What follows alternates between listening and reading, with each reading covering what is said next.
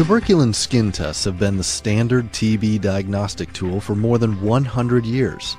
But there are new, better tests available. But why change now? With better tests, focused preventative therapy is possible. The QuantiFERON TB Gold or QFT test is a modern solution to finding individuals infected with tuberculosis bacteria.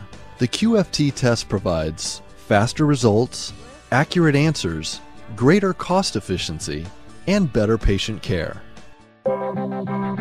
The QFT test has been assessed and recommended by experts within the Centers for Disease Control and Prevention, CDC, expert panels and public health advisors, top medical facilities which are using QFT, and the 400 plus scientific studies that are testament to the benefits that QFT may offer.